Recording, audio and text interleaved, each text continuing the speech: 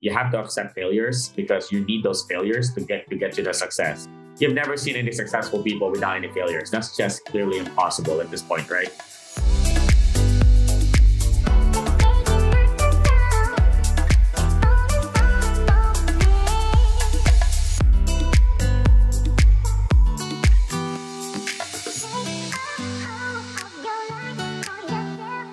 Welcome to the Raquel Show. I love interviewing game changers who are constantly shaking things up. And my next guest is definitely a game changer who doesn't like to sit still. And it's Kevin Cruz, who is the founder and owner of multiple businesses, including Kinetic Real Estate. He's also been named Entrepreneur of the Year. This guy is full of wisdom and I can't wait to share it with all of you. Welcome to the show, Kevin. Hello, everyone. Thank you for inviting me over, Raquel. It's a pleasure. So, I appreciate you taking the time. I know you're very busy to be on our show, and we're going to jump right into it. How many businesses do you currently own or are part of today? Um, I'm part of six. That's impressive. And that is absolutely amazing. And I know the first thing that's coming to people in our audience is how do you manage six businesses when I can barely manage one? Well, truthfully, you can't really manage all of them, right? I made my mistake when four years ago I started, you know, multiple companies at the same time where I'm just like ramping up. But what happened is like you lost you lost focus, right? When you you know when you focus on everything, you don't focus on anything, right? So that was my error. And that's you know trials and errors that i did. So eventually those companies that we started such as moving staging airbnb flipping right and cannabis right i became a silent partner for majority of it and board member as well where i don't do any day-to-day operations where i'm only involved where there's a big decision happening or once a month i just get an update from them. So after you know i shifted my focus to a year and a half ago where my focus now is purely just kinetic real estate just purely real estate, right? Don't talk to me about anything else. Uh, you know, just anything that you need from other companies is very small. Like, it takes like two minutes to handle, or it's just like a quick conversation. So as a board member, so I had to give, you know, I wouldn't say give those up, but like I had to let go of those. And uh, obviously, it was pretty tough. For some of the partners we have, right, that I have for those people. But in the end of the day, you know, we're professional about it. We understood what it means. We understood what it meant, and we're still partners until until then. So I love this because you had six different businesses. You made the decision to not be involved on a day to day to all of them, but really define your role. And when I hear six different businesses, this tells me you have a really big vision. Where does that vision and that drive come from? I think the biggest thing I think about especially like when times are tough or times are really good when you want to just like you know think about like holy crap you know we've gotten this far or like we achieved something amazing. Is uh i just think about the people like i think about my peoples and i think about being that example of from nothing to something. So it's not more so about like the money it's more like the inspiration i can create to everyone around me. You know, coming from a third world country, right? Coming from the Philippines, right? I think about them. I think about the country. I think about like the, you know, like I would say like uh, more uh, people who wish to be here, right? But they cannot.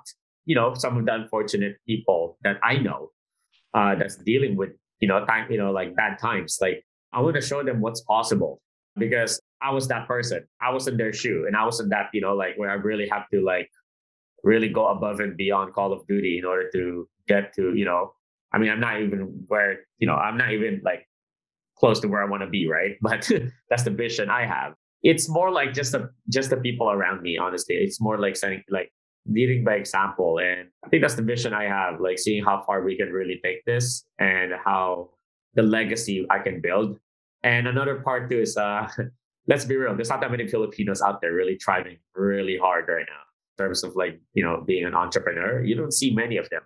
Well, way to represent the Filipino community. And yeah. I love that you took the inspiration and you want to lead by example.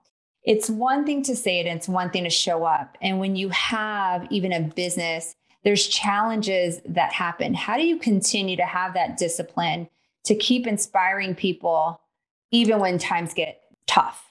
First of all, uh, times are tough uh, all the time to me. Balancing is uh, really hard for me and uh, disciplining my disappointments.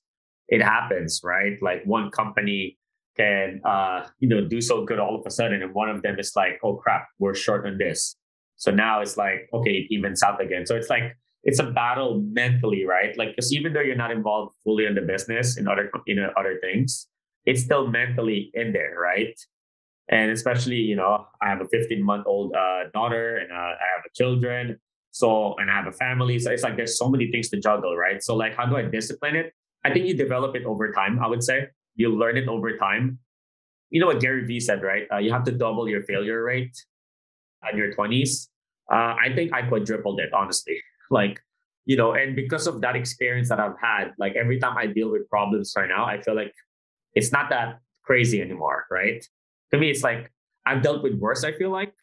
And, you know, that really brought the best out of me dealing with those mistakes. So I hope that answers that question. It definitely does. And they say it's a muscle. Experiences help you gain other perspectives. And it's a muscle that you, you know, going through failures becomes a muscle to go even bigger, right? Without those, yes. you don't have bigger visions and bigger goals. Yep.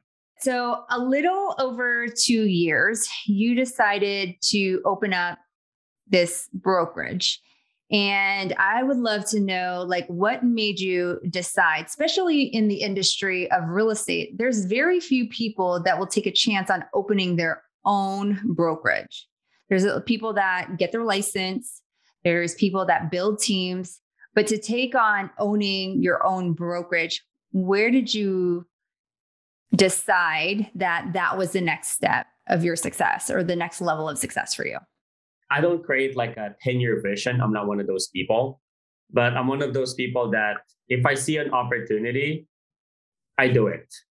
Sometimes I do it first before even thinking about it, right? Sometimes I go backwards on a lot of things. Uh, I'm not sure if that's un- being unorthodox or not, but like uh, to me, I've gotten this opportunity because of uh, the company called Side Inc. Right, where they partner up with top agents and help you with uh, a lot of the operations and the back end things.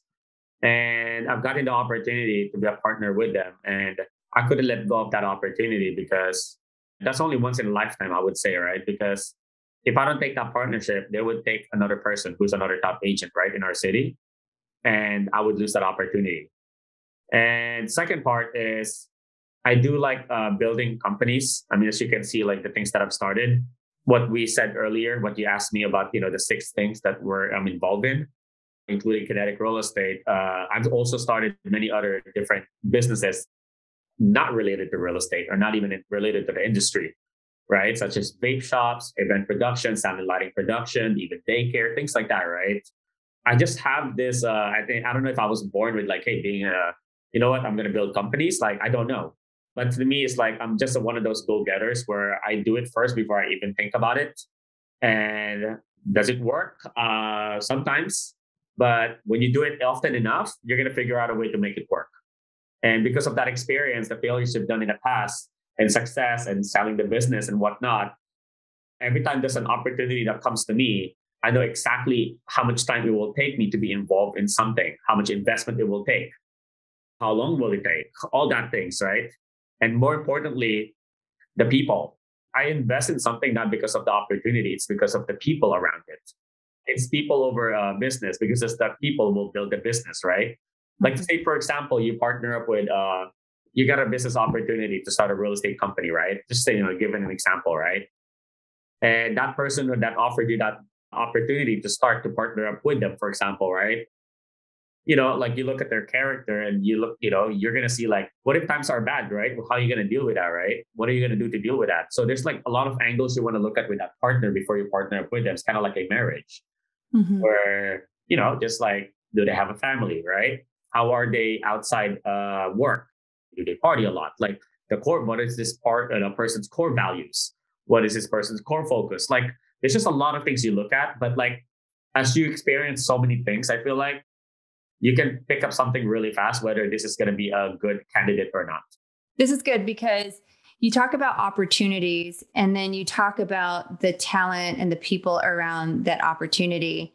And last year, you started to build a leadership team with people, right? Yes. Just exactly what you said is sometimes you have to look at people and not necessarily the business because it's the people that actually will make the business. That's correct. All the time. And so, what decided you to actually build a leadership team for your brokerage?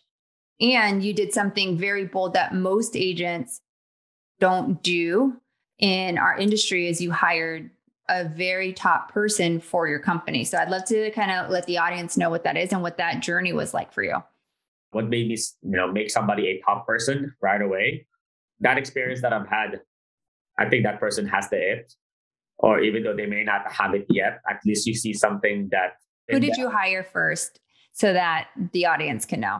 Uh, well, in my company or in your company. Yeah, Gillian will be the first one. Gillian Aradaza will be the first person, right? She's been with me with Keller Williams, Better Homes, and moved to Kinetic with me as a co-founder.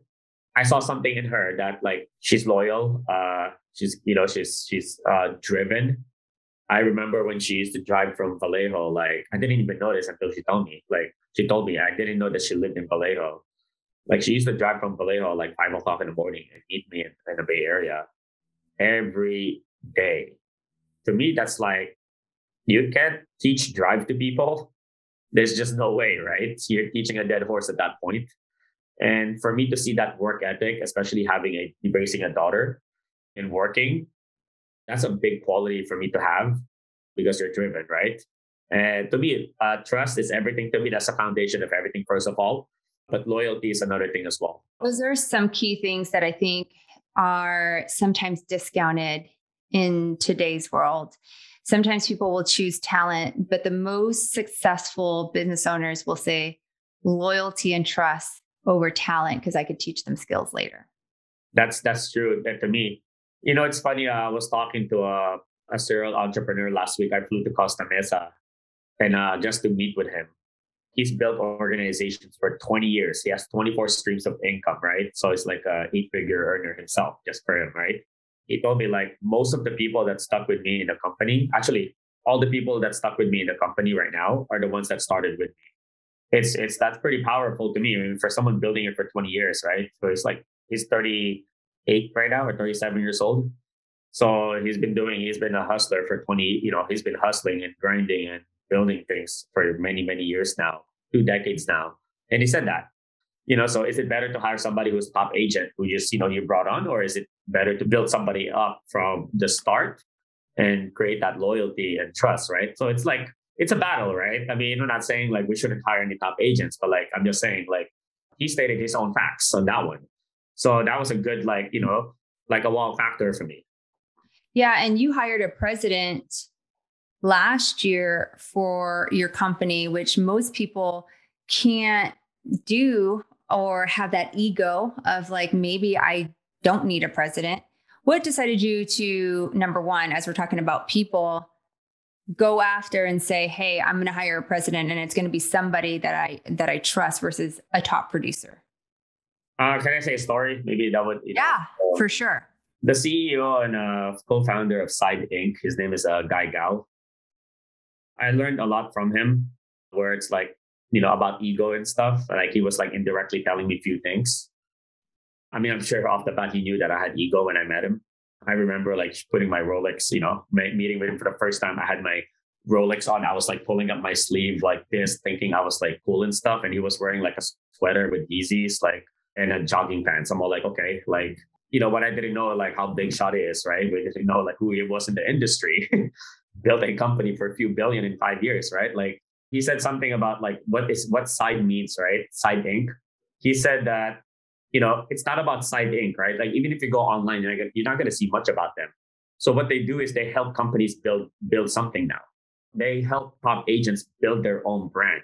So that takes away the ego right away, right? They're not promoting like Side Inc. is the shit, right? It's more like these agents are the ones doing it. And I started to realize the core values he really has, right? As over time I talked to him, And I think I started dropping my ego back then. And honestly, right, when I met you uh, last year, uh, you know, started coaching with you last year, you're like a game changer to us, right? Uh, that's from the bottom of my heart. And I just think like over time, all these things, right? And meeting Juan, uh, you know, is a big servant of God, and like ego is like the last thing he has right now at this point, right? If you guys know him, like you're gonna see like the type of character he portrays, right? The type of character he has. I think all this combination that I had, like I had, like I, I automatically just dropped my ego, and it's not about it's not about me anymore, right? I mean, people already know I'm the founder of the company, right? People already know that, right? But I don't title and stuff doesn't really like you know people started calling me CEO, like and stuff like that. But I never called myself like CEO. You know, maybe I posted it once on Instagram. You know, like my social media manager posted it, right? But like I never did. People would just call me that, right? Like a title is earned, and a title is earned, and I just saw that he can bring something to the, you know, he can put some bring something to the table that I wouldn't be able to bring in overall. You know, there's a couple things to unpack in that that I think the listeners, I'm sure that they're going to want to rewind and listen to it. Is one through meeting other people. And I think that this happens a lot. As you meet more successful people, you start to look at things a little differently. When you're still in the ego game, right? Or when somebody's talking crap about you, they say, they probably aren't as successful. So never take advice or information from somebody that doesn't have the stats. Yeah. Because it's deformation in your brain. That's true. If no one is talking smack, you're not doing something right too, right? So right. And I have haters at some point, you know. what was key about that is like you started to drop your ego, right? Because you started mm-hmm. to see like this guy had built and believe it or not, I meet a lot of people that are in t-shirts and shorts, and you would be, it's it's amazing how much wealth they have, not only in finance but in like assets and in companies and in relationships. Mm-hmm. All, and they do a lot of their meetings in t-shirts and shorts or slippers or whatever, right? And I think that you just start to elevate into a bigger mission. And you said it like it's never about the ego or about the money. It's really about something bigger. Yes. And it starts with people. I feel like it's really just people leadership and people core. And yeah. I'm fascinated by you, Kevin, is you have a lot of friends that are part of your companies. And I'm sure people uh, have heard like never get in business with your friends. Yeah. If there is a stat out there that's against that and that really plays at a high level, it's this guy that you are listening to or or maybe even seeing um, online is how do you protect yourself number 1 from like the friendship and the business? I have a lot of experiences with this by the way. the trust level and the respect level. That's always a like a tag of war or something, right? Because you trust them, but some of the people you work with they might not they may not respect you the way you know other people respect you because they know you too much. They know they know deep inside they know you. They say you can't be a mayor in your they know all the shit that you've done yeah. you know? So but they trust you but there's no like full respect. It's like oh you know i can be late on a meeting blah blah blah right? Like doesn't matter you know it's kevin. Like i know him. We're friends you know? I love him you know? He loves me. Like you know oh my god i've been through that like i would say like more than a handful of times. Like uh, it's pretty difficult. First of all, it's a challenge, but it's something that you you can overcome and learn. The biggest thing you have to know is like you got to know the reason why you're in business with them. You have to know why you're in business with them, right? Like I feel like, you know, doing business together is a I think it's a great thing overall, okay? As long as you pick the right one, the right friends, right? Because in business, right? I mean, we all have a goal, right? I mean, every time I start a business, obviously we have a goal, right? I mean, rather than them being in a job, for example, right, working stuff, like what if we just do business together? So much things I can dissect to this. I feel like this more of like a more what give as far as advice because you have a lot of different companies, a lot of different friends as partners.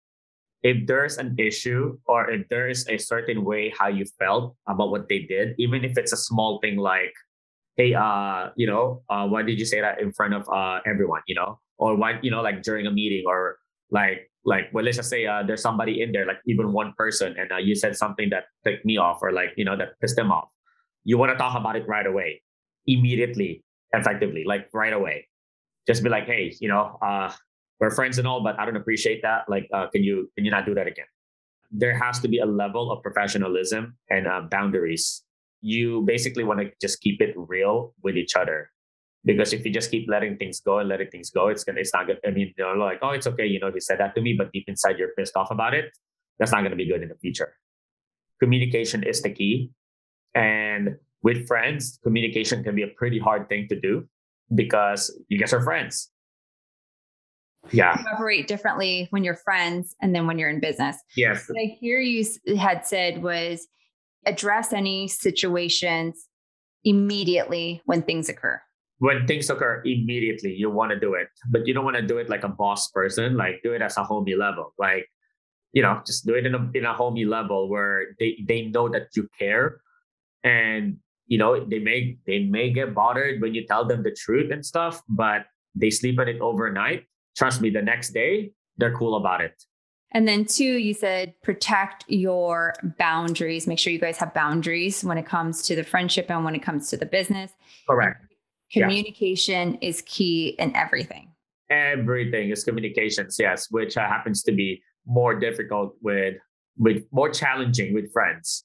But mm-hmm. once you overcome that, I think it's the best thing, right? Because what you said earlier about, you know, loyalty and trust, those are the two things already. Once you build that up, loyalty and trust is like, you know, over talent uh, all day, all day. Yeah. yeah. Yeah, I couldn't agree with you more and i have always been impressed with your drive your your ability to take risk your ability to implement and execute fast and your thirst for like constantly growing and investing. I've yet to meet a lot of people that are very strategic and are constantly investing. Why do you continue to do it at such a high level? And especially with the success that you've had. I mean, I'm not even there yet. Honestly, I don't consider myself successful. There's a lot of things. You are. Uh, He's totally uh, discounting it. Yeah, but I'm like deep inside. I'm like, you know, it's what it's like it's like normal to me now. You know, like it's normal. I don't see it. I really don't. Uh, like that's an ego. Maybe I drop. Maybe I don't know. Yeah. what keeps me going? Mm-hmm. And yeah. constantly like growing and like learning about new things. I mean, every time I talk to you, you're always constantly learning about things, constantly investing in your growth seminars, people, right? Like you just said, you went to Costa Mesa and you're constantly like learning. You know, I have this philosophy, right? You don't know what you don't know. I went to, uh, I spent like a lot of money on this uh, event. It was like five figures, close to like, you know, yeah, a lot of uh, five figures to go to this two day training. It's Grant Cardone's uh, CEO of the company, Brandon Dawson and he talked about this pie chart, right? I mean, you pay that much money, you're going to listen to every single word they said, right? And he said something about like, you know, the pie chart, like you're basically like not even 1% of what you know. I feel like there's so much things out there that's just like, like holy shit factor. Like I did not even know about that. You know, I've seen a lot of things I feel like, but like there's some things where just like that still like drives me crazy. Like, how is that even possible, right? And going to this type of like events and networking and like seminars and stuff, like there's always something that you pick up. And I always believe that motivation is kind of like a, it wears off like a deodorant, right? You always want to keep yourself going because motivation wears off. Like if you're in the, in the office every day, like it's gonna wear off over time. Like you gotta figure something out to keep yourself like in that high energy and like I don't know why you keep doing what I'm doing. I still I'm still trying to figure that out, to be honest with you. Like, why I keep doing what I'm doing. All I know deep inside in me is like, you know, I do want to write a book later on. I do want to inspire the Filipino community. I want to be one of those people like being, you know, like inspiration, do public speaking later on with like thousands of people, hundreds of thousands of people, be omnipresence, right? Like I'm always inspired by it's funny, I was talking to uh, my social media manager like two weeks ago. It just came into my head. I'm all like, let's do what Gary Vee is doing. I said that. What does that entail? Uh, three times a post on social, three times, three posts a day on social media. He's everywhere you ever see. You see him everywhere. I don't care where it is, you're gonna see him. I want to create that, and like I don't know, it's a credibility. Like I don't know what what what what it built out of it. Yeah. But, uh, uh, yeah, I don't know how to answer that question, Raquel. That's um really good that you say that because it sounds to me that if you're not growing, you're dying, right? We've all heard that, and you're constantly growing, but you're also constantly implementing, and there's things that stick with you, and that's why you continue to invest in yourself. So let me ask you this: What's the biggest risk you've ever taken in business? biggest risk how do you define that financially or? Biggest risk that you've ever taken that as you look back at all your different companies the biggest risk that gave you the big maybe even the biggest lesson that you're you were so thankful that it happened or gave you the biggest reward? What's the biggest risk you've taken? I think leaving uh leaving my current brokerage brokerage to start kinetic is one of them for sure because i had something great going you know i became from you know, rookie of the year, you know, entrepreneur of the year, top agent in the office. And after that, like top five in the entire Northern California in that brokerage. So I thought there was like something really good going on already. And me starting my own, right? I was with like three people. I was like, okay, like, the hell are we going to do? We have no office, right? Another factor, we have no printer. Number three, like we have no broker. Basically like you know we're gonna lose uh, a lot of you know not lose but like lose in touch with like things that you need help with. Uh, that's only like my by starting off my fourth year. So just imagine like you know you're still brand spanking new like considering your first year is part-time. Like and to start something on your own you know i even had to lease an office uh i co-lease an office with my moving company. And yeah it was like we had no office specifically. Like it was just like a round table on the on the public area. We were just sitting there all the time. Even though we helped 82 families that year, it was like, holy crap, like what are we doing? You know, like, but that's what we did. Uh, that was one of my biggest risks because, you know, real estate is the one that really provided me the bread and butter. I've never seen uh, more than 100,000 in my pocket in a year. Made I never made more than 100,000 until I was 28. I love that. I love that you, number one, you took the risk. You saw something bigger for you, even though you were sitting on what most people would say, wow, top five, top in the in Northern California. And yet you still took a risk. And what did you guys do last year? Because you guys had a phenomenal year last year. Well, first year I did uh 50, we did 82, help 82 families, right? And uh, last year we did 248 families last year. That's amazing.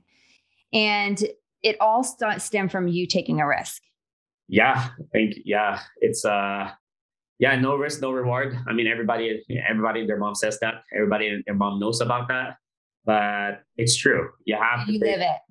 You have to know that you're gonna experience something really challenging, and you have to know, you have to accept, and you have to accept first that you're gonna fail at one point. Yeah. You're not, but it's not about, you know, panicking. You have to pivot really fast. That's what starting a company, that's what being an entrepreneur or businessman is. You have to accept failures because you need those failures to get to get to the success. You've never seen any successful people without any failures. That's just clearly impossible at this point, right? You know, Mike Tyson said, right? You know, everybody has a plan until they get punched in the mouth, right? So most of these people, they they plan, they plan, they plan. They're in a drawing board, they plan, but nothing is executed. Even for real estate sales agent, like I see people who's like practicing and practicing. You just gotta go out there and do it. Make the call. Are you gonna stutter? Yes. Are you gonna be nervous? Yes. Are you gonna deal with objections? Yes. But even if you practice objection handling, but if you don't actually deal with it, like you're never gonna learn. Yeah. That's so true. You got to take action at the end of the day. You can have the best mentors, the best strategies. And that's what I love about you. It really wasn't me, Raquel, as a game changer. And I want to say thank you even for saying that. But it was really Kevin that did the work, right? It was him that actually did the work and took the action. And as we wrap up our show, you know, I'm always big on playing bigger in business and in life. What's one thing that you do, Kevin, to play bigger? I'm not sure how long I can hold this, but uh, I dropped alcohol. uh, that's uh, that's a you know, I'm almost two months of no alcohol now. Uh, 50, 55 days or 56 days now, right? And that's one thing, right? To play bigger, you know. Uh, number two is you know we read every month new books every month. as a leadership to learn and self development. I mean, for the company wise, we're gonna help 500, 500 families this year. Uh, bring in a you know 100 total uh, agents in our company. We're at like 50 now, and just develop uh, leaders and uh, just keep going. This is so amazing and so good. Where can people connect and find with you? You've got some big goals, and not only what I heard is you want to help a lot of people. So where can people connect with you? Uh, Instagram, the Bay Area Realtor with the THE in it. Uh, THE Bay Area Realtor. Uh, Facebook, or yeah, I think those are the two things mainly. Yeah. So connect with Kevin. If you want to send him a message on Instagram, the Bay Area Realtor. Kevin, thank you so much for being on the show. If you have enjoyed this episode, please share it on Instagram and tag the Bay Area Realtor. And we'll also put it in the show notes. I appreciate having you on our show. Thank you so much for your time. Thank you. Thank you. Thank you, Raquel. Appreciate you.